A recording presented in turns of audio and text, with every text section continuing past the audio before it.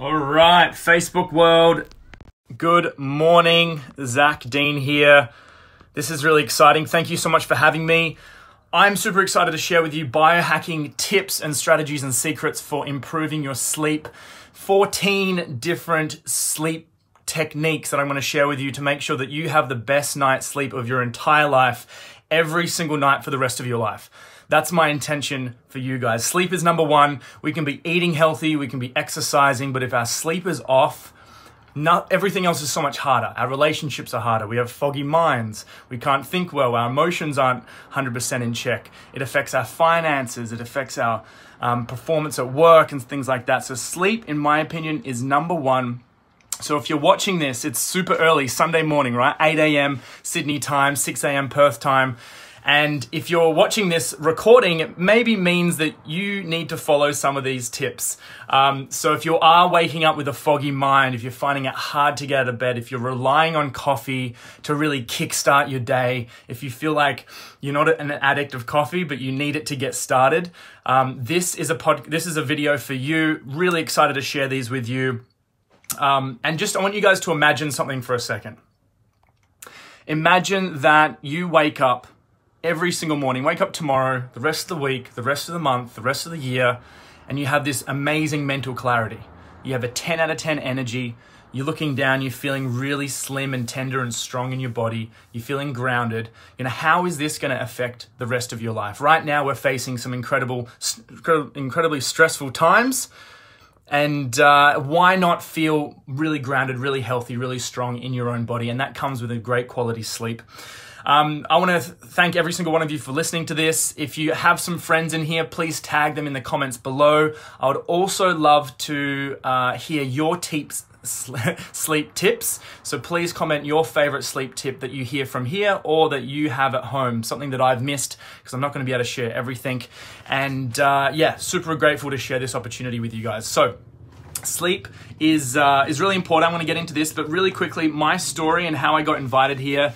Um, I was introduced through one of the friends here, um. Um, thank you so much for having me. And uh, for those who don't know, I've been a health coach for about five or six years. I um, have a mum who's a naturopath, a dad who's a, a stepdad who was a yoga teacher. Um, my second stepdad was a psychotherapist, and uh, I've been health coaching for many, many years now. I have a YouTube channel with hundreds of recipes. I run health events. I do this thing called Broth Night where we have uh, hundreds of people rock up to eat broth, bone broth. and so that's traveled around the country before the virus hit and everything like that. So, um, yeah, that's a little bit about me. And now I'm just going to deep dive into some of these strategies. So, strategy number one I don't know if I can see your comments here, guys. Hang on a minute. Damn, I can't see the, the, the comments. Anyway, all good. Um, so, if you're out there, say hi, thumbs up emoji, all good. Step number one is if we want to improve our sleep, we need to have purpose, vision, and mission. We really need to create a vision that's exciting and compelling for our life. I don't know if you've ever noticed, but there's been times in my life where I haven't had clarity.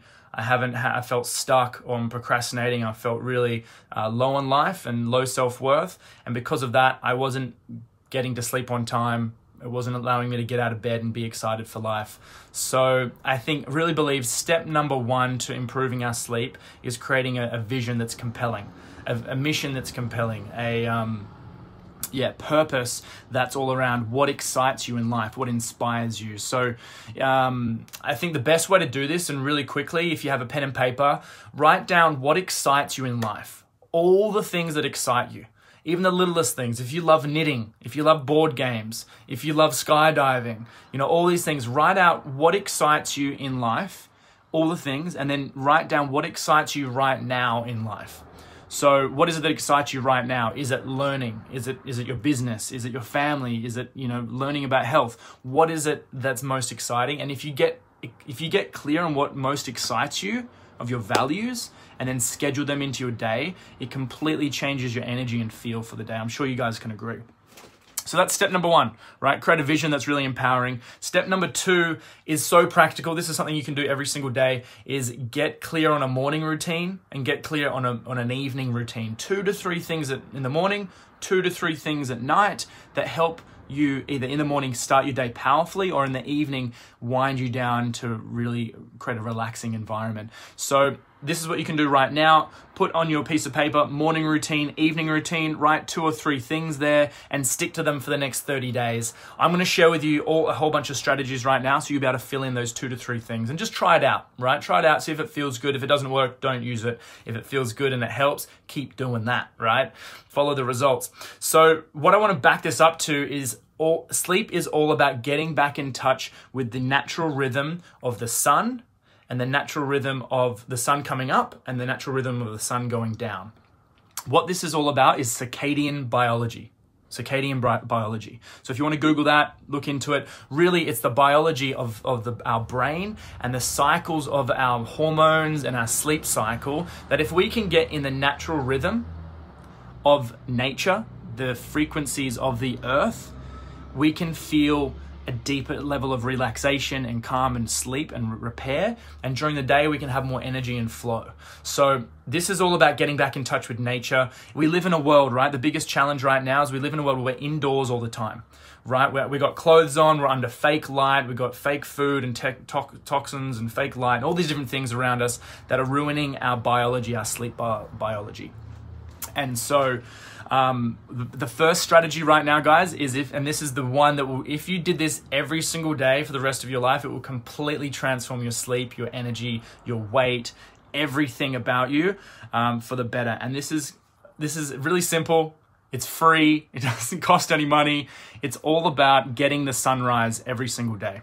So the sunrise is obviously if you can get it. Or if you have a backyard that has you know access to the sky or whatever it is if you're in an apartment block get outside. The first thing you want to do in the morning get outside. Ideally go to the beach you know ground yourself connect your feet to the wet earth the the, the grass or the ocean and that creates a full circuit. From the sun to you being connected to the earth it's a full circuit. And that's helping build uh, the melatonin in your skin. We actually produce and and um, create the melatonin through our whole skin and in, in our brain in the morning. When we have the sun, it builds the melatonin up.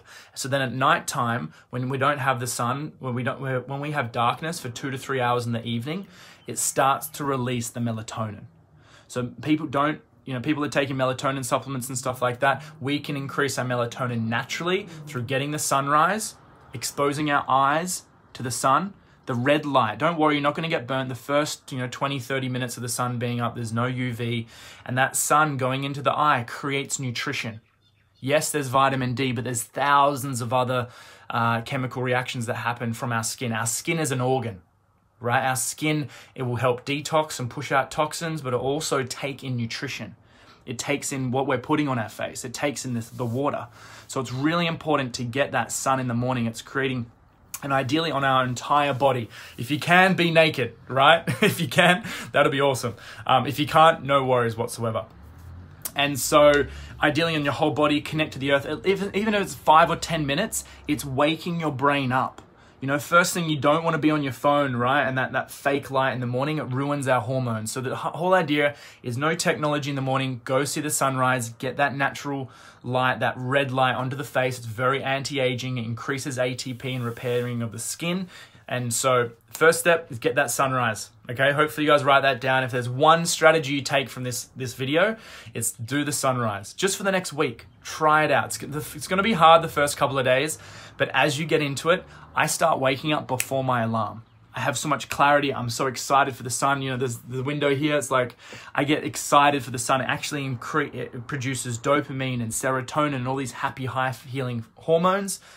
It's created through the sun. It's free. Do it. It's the best thing ever. Um, awesome. If you guys have just joined us, I'm going through a whole bunch of strategies on health and wellness mainly focusing on sleep. Uh, if you want to share your favorite health strategy, um, sorry, sleep strategy, comment below and tag some friends in here. Would love to get your feedback and uh, see your what, what strategies are working for you. All right, strategy number three is obviously reducing caffeine, stimulants, and sugar. Easy peasy You know, if you're addicted to caffeine, sugar, and stimulants, it's to find you're to find it really hard to get to sleep. Step number five. This is really unique. In our brain, our brain controls our life, right? Our consciousness, our perception, what we focus on expands in our life, in our in our in our existence. So if we're unconsciously not seeing the benefits of sleep, we're not going to take any action on improving our sleep. It's all about helping rewire unconscious habits and benefits that we perceive around sleep. A lot of our life, we've maybe not bothered about sleep because no one's taught us how amazing sleep is. But what this strategy is, guys, is write down a hundred. This is this is a bit challenging. It's only for those who really want to improve their sleep and change their entire life. So write down a hundred to 300 benefits of sleep. Sounds crazy, it sounds really big, but 100 to 300 reasons why uh, are the benefits on sleep to the body better energy, better clarity, better repair from the gym, better weight, quicker weight loss, less cravings, you know, looking more young. Like just write down and you'll get to 50 and you'll be like, oh, I don't know anymore. So Google it, research, listen to some podcasts. The benefits of sleep are amazing. It's actually the, like it's free and you can do it every day and it's going to be more beneficial than what you eat, the supplements you have, the exercise you're doing. Sleep is number one. Hopefully you guys can agree. If you put a big thumbs up, if you agree that sleep is number one, that'd be great. Okay, so that's strategy number five. Strategy number six is making sure that you have darkness in your space.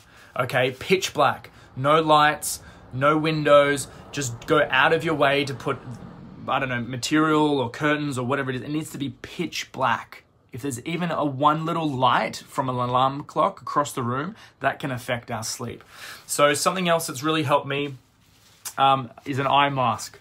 This eye mask is so nice and cushiony and relaxing, and that helps me have a super nice deep sleep. That is one of the best things I can recommend. I'm going to recommend a whole bunch of biohacking tips as well. The eye mask is is by far one of the best things I've ever bought.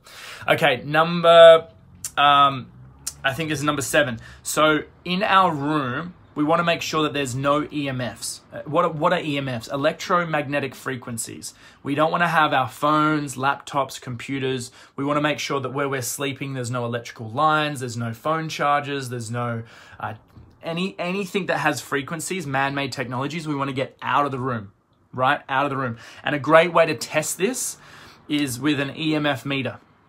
Okay, so you can buy these meters online. Um, there's different ones for radio frequencies, magnetic for motors and microwaves, and also electrical lines. So when I got this, I tested my bedroom, and where I was sleeping, my head was right next to the wall, and it had electrical lines behind it. It had wires, and that was actually showing up a certain distance where my head was. My head was what, right where the electrical uh, electricity field was coming out.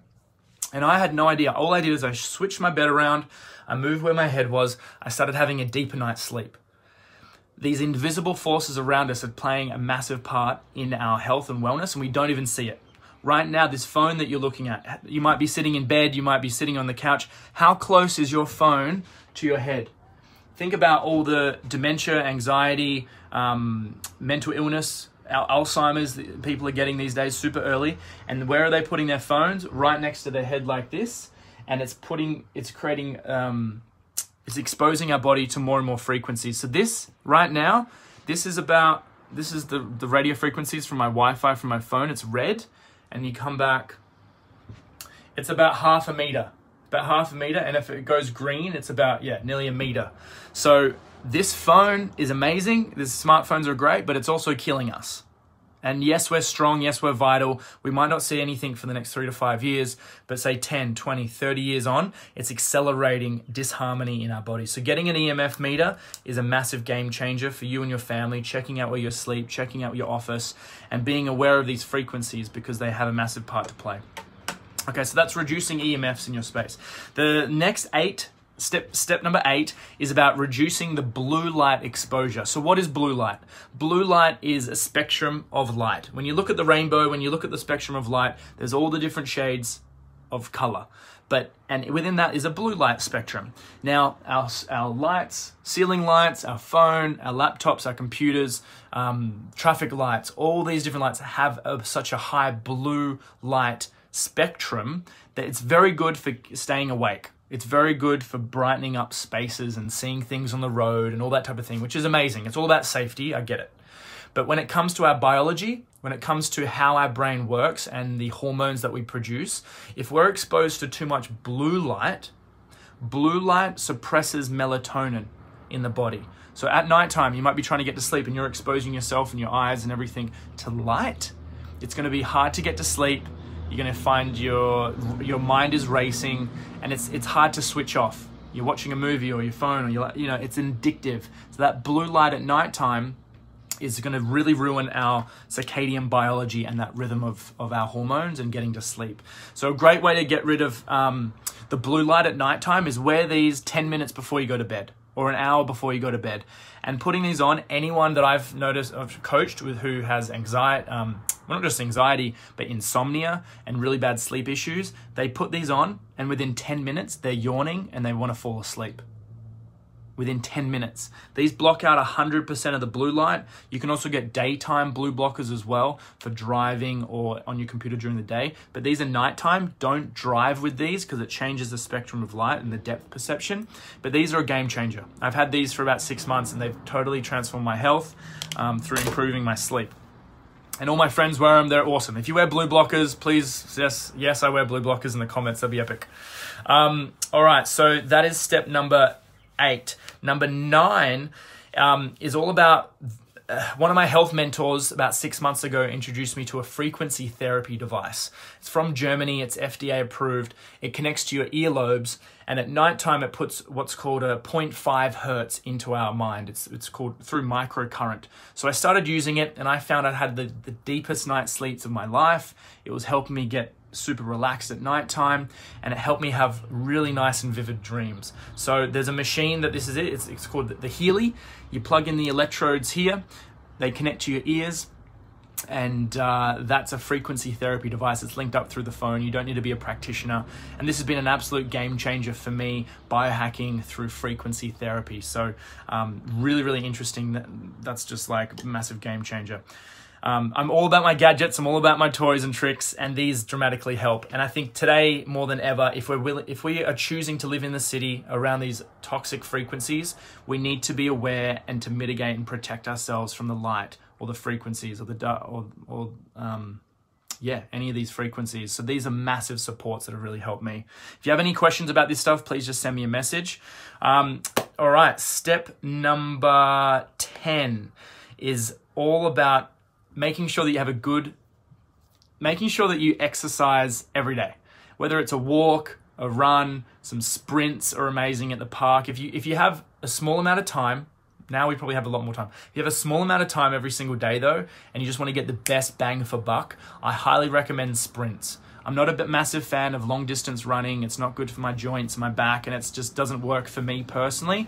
So if I want to get the best quality, I think there was a documentary called The Truth About Exercise, and it was talking about the importance of sprints or high intensity training. And so, whether you're starting exercise for the very first time and you're just getting into the rhythm, or whether you've been doing exercise for a long period of time, short bursts can be really good for getting our our, our blood flowing, our circulation going, our breath going, and really increasing uh, our ability to burn sugar. So, yes, during these times we might feel stressed and worried and anxious and we're going for that healthy uh, non-healthy comfort sugary food. And so in order to kind of balance that i'm human. I love a bit of sugar and chocolate and you know chips and stuff like that now and again. And so i know if i do some sprints or if i do some high intensity training even if it's one minute every day just one minute or even three one minute three times a week doing a 20 minute 20 second sprint and resting for five minutes then doing another 20 second sprint and resting and then doing another 20 second sprint. So one minute of high intensity three times a week is an absolute game changer. Don't think that you need to be slogging yourself at the gym underneath fake light. The best gym is shoes off in the park, in nature, under the sun, drinking some good water, and really connecting um, to nature. That is the best exercise you can do. Going to the gym, smashing the weights like I used to do it under fake light, in fake aircon, in with pumping, you know, toxic music music going on is not good for our um, the our frequencies in our body. It's not the most supportive, nourishing, supportive thing. I'm sorry for all the gym people out there, but going to the gym under fake light aircon and take having rubber shoes. Rubber shoes disconnect us from the earth and really don't help our um, our body release uh, the tension or help us heal more effectively. If you want to reduce lactic acid, if you want to like really heal your body a lot quicker, stand in nature, get connected to the sun. That's the best thing we can do. So yeah, exercising, high intensity, less is more. Don't overdo it. If you're feeling exhausted, don't don't go for a sprint. Just go for a walk. Go for a swim. You know, all these really calming things are really beneficial too. Uh, step number 11 is all about meditating, stretching, and breathing. These are free. It takes, you know, whether it's meditating for one minute, five minutes, you know, 20 minutes, just do a little bit every single day. Schedule this into your diary. This is something I'm working on. You know, finding those little times throughout the day can be challenging. But if I put a reminder on, or if I set a time that every single day I'm going to meditate no matter what during this time, that helps me. Uh, stretching right? Releasing the tension in our body, getting a massage is so, so beneficial to helping you get into those reparative deep states of sleep. And also breathing. You know, no one's taught us how to breathe, yet it's one of the most important health things of our entire life. Right? If you want to know how to breathe, it's all about breathing from here. Don't breathe. It's all about breathing Don't worry if you look fat a little bit. Don't worry if you're pushing your belly out. The more oxygen you can get in. Buddha, if you think of Buddha, you know, the guy meditating, Buddha, really big be- belly. It wasn't because he was fat because he ate a lot of food. It's because he was really good at breathing and taking in the oxygen. So I highly recommend breathing, staying grounded. Um, meditating and stretching every single day is going to help us stay calm, especially at nighttime before going to bed if you can do five minutes meditation, five minutes of breathing, and five minutes of stretching, just 15 minutes into that evening routine that we're talking about, it will be a great foundation to build on, right? Um, st- step number 12 is eating small amounts of, of dinner. Um, don't, don't overeat at nighttime. Don't overeat anytime, but don't overeat at nighttime. It can affect our sleep. Try not to eat after, you know, 7 to 8 p.m. Uh, is probably the latest you'd like to eat. Um, a hot bath is excellent. Hot bath and massage, as I said. If you got a bath, if you got a shower, a nice hot one is epic. Um, even sometimes I like having a cold shower at nighttime. It, it does does stimulate me, but at the same time it stimulates me, and then it helps me relax even more. So uh, that's also a really cool strategy. Lastly, is journaling and getting clear on your next day's top three goals.